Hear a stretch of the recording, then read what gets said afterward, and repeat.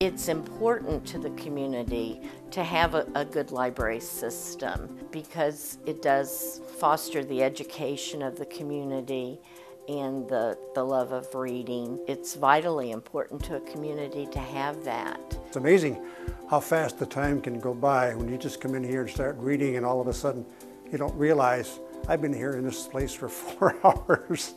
This is a wonderful facility with adequate parking. I mean, just it's in and out so easy. This is, it's some people don't realize what's here, but it is. It's a treasure. It's a real treasure for Springfield and Clark County. The main library here is at 201 South Fountain.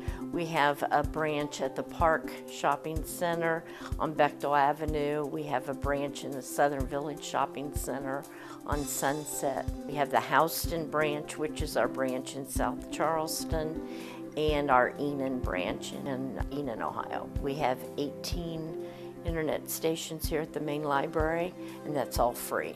We do have meeting rooms at all of our locations. Those are um, free and open to the public. They just can call in. It's a first come, first serve type of thing.